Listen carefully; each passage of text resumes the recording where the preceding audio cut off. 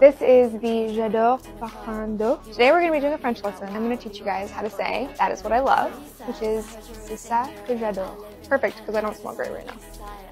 Oh, that's beautiful. It smells like jasmine, which I have lots of jasmine flowers around my house and it definitely reminds me of home and it reminds me of growing up and running outside and like smelling all the jasmine and my mom would always tell me to go outside and smell the jasmine on a really beautiful day. When you smell something, it's almost like music. It takes you back to a certain moment in your life that had meaning. When there's a moment of connection or love or joy or happiness or even something really dark that happened in your life and you kind of escaped out of that point and there's a very specific smell that you were around during that time, smelling that again can bring you right back to that place that you were in. A j'adore woman is someone who is equally as strong and empowering as she is kind and genuine. I think a lot of the times we associate strong women with harshness and I don't seem to agree with that and I think a j'adore woman is one who is honestly kind of like my mom. That's just what came to my mind.